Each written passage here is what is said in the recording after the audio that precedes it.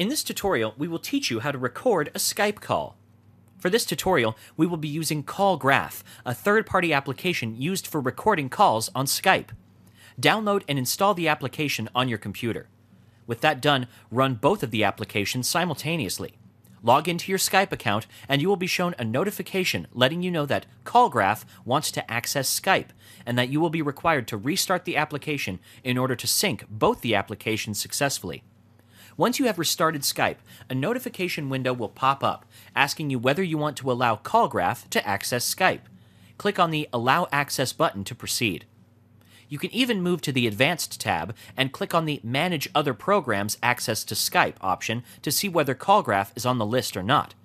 Once you have synced both the applications successfully, simply call any of your contacts on Skype and hit the Record button.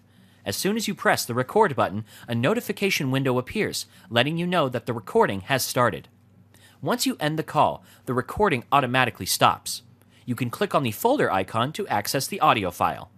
And that's it.